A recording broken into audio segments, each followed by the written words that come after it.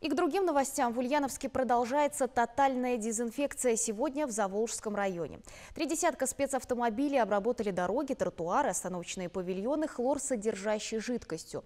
Насколько безопасен состав и какие объекты дезинфицируют в первую очередь? Репортаж Артема Петрова.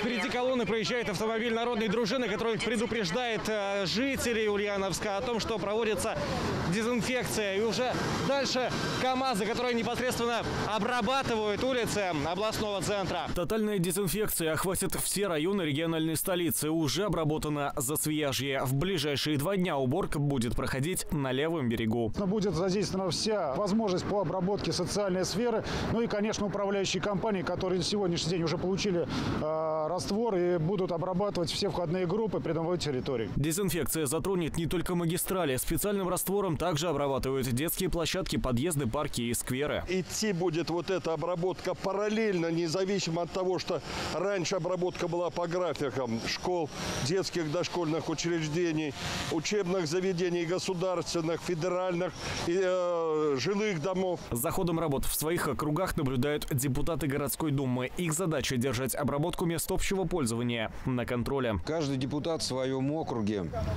а, отслеживает, как работают управляющие компании. Начали это с обработки подъездов, территорий, лестничных пролетов. Раствор, который используют для дезинфекции, это смесь воды, хлора и прочих добавок. Для вирусов он губителен, но для людей и животных вреда не несет. Для уборки будут применяться средства, а, официально разрешенные Роспотребнадзором, которые это хлорсодержащие препараты, которые э, допустимо применение в том числе в населенных пунктах, э, то есть э, в домах жилых, в транспорте.